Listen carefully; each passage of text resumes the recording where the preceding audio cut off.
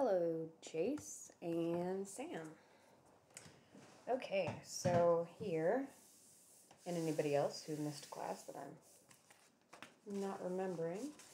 So this is what we did in class um, on Friday. We did kind of like a chat with notes where it was kind of a, a back and forth thing. Um, so I thought I'd give you a little recap to make sure that you understood what happened.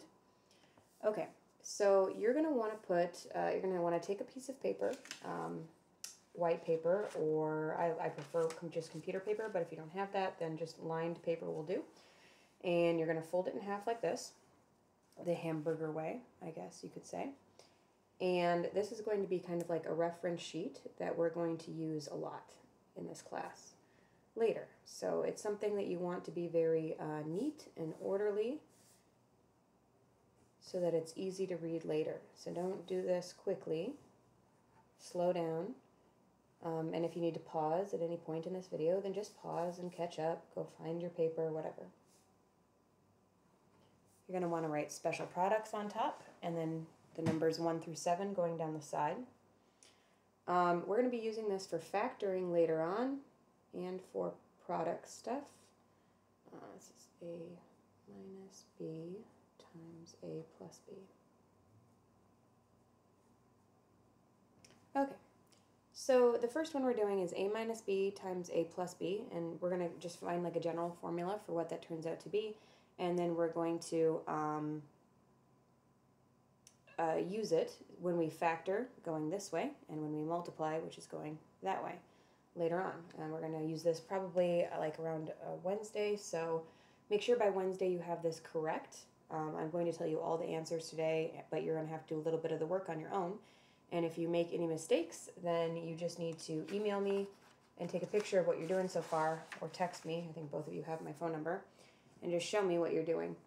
Um, okay, so on the inside or on the back, whatever you want, is where we're going to show all of our work. So the front remains clean and a good sheet for um, showing off what we need. In fact, this is going to drive me crazy. Okay. There we go. So on the inside, I've got a minus b times a plus b. And I'm going to put that into a little Punnett square, or you could do foiling if you prefer. Either way, you'll get the same answer. We're doing a minus b and a plus b. And a times a is a squared, and a times negative b is negative ab a times positive b is ab, and negative b times b is negative b squared. So this one, um, if I've got a positive 1ab and a negative 1ab, these cancel each other out, and I'm left with a squared minus b squared, which is my answer. And then on the front side, which remember is my reference for the future, I'm going to write a squared minus b squared. All right, the next one we're going to do is a plus b in parentheses and then a square on the outside. Now you can't just distribute distribute the square to both of them. Um, sorry, I've been so far away, my bad. Um, you can't distribute the square to both of them uh, because if it was like a problem like this, if it was like um, AB squared like that, um, that you could totally distribute the square to both and that would be a squared b squared. Um, but if you have a plus b squared, that is actually a plus b times a plus b, which requires you to FOIL or to do that Punnett square. So we're going to do that on the second page. That's a plus b times a plus b. Let's see,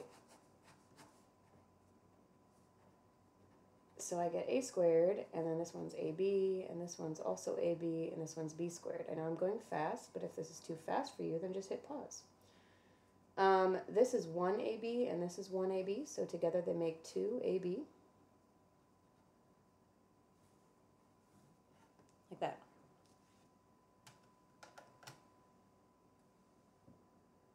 Okay. So going back to the front side, that is a squared plus 2ab plus b squared.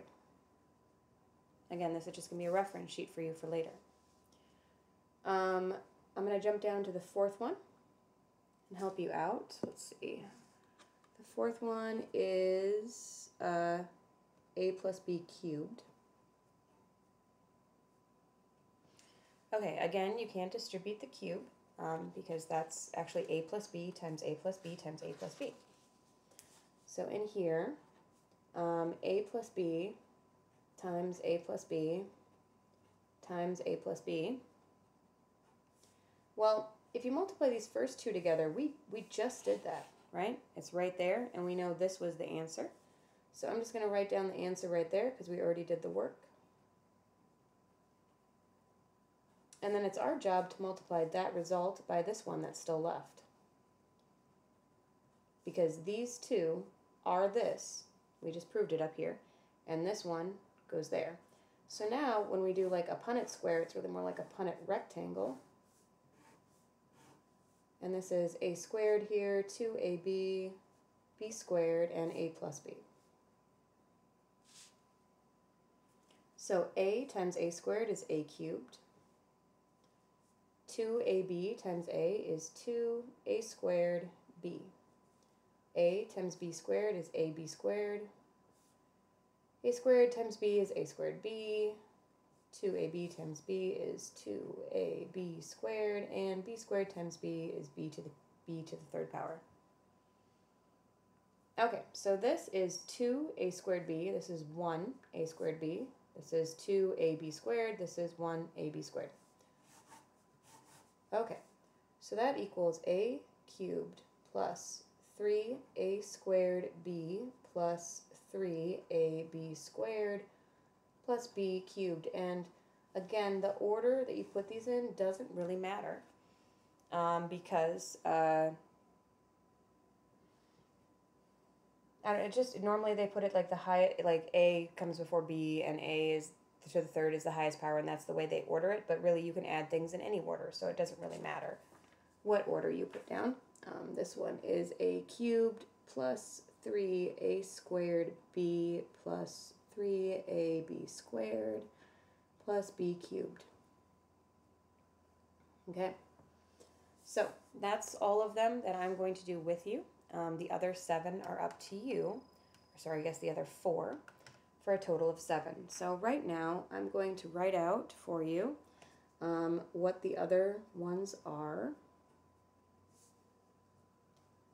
And you're going to do these yourself. This is the part of the interactive part of class that we had on Friday, where we basically just broke off for 15 minutes for everybody to try to do this themselves before coming back.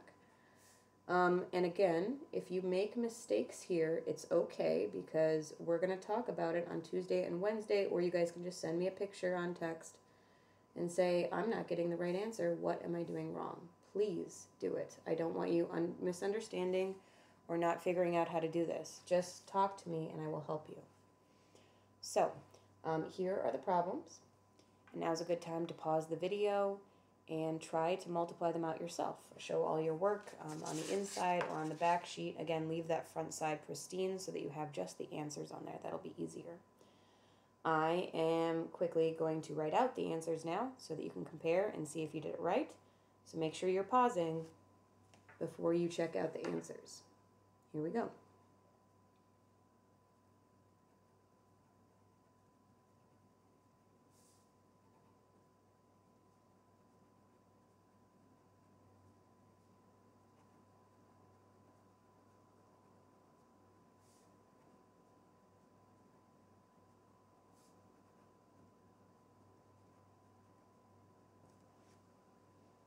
All right, that's all of them. So you're probably going to want to pause again and compare them to your work, and then maybe text me and ask me questions about what you're doing wrong if you're not getting those answers. And again, keep this sheet because we'll be using it on a later date. Okay, here, one more time, just for that pause. Okay. The next thing we did was we talked about another basic kind of factoring um, which is how to factor quadratics that don't have a number in front of them. A quadratic, something with an x squared, and a number in front of it would be like 3x squared plus something else. Um, so the first thing we did was I had, and you probably remember this from with me if you took algebra with me, uh, the x problems. So you're going to draw three x problems on your paper, and um, then you're going to write out um, the these this number here, 25 and 10. So this is kind of like a game in preparation on how to do factoring. Um, so what you have to do right now is you have to try to think of two numbers that multiply to get 25 but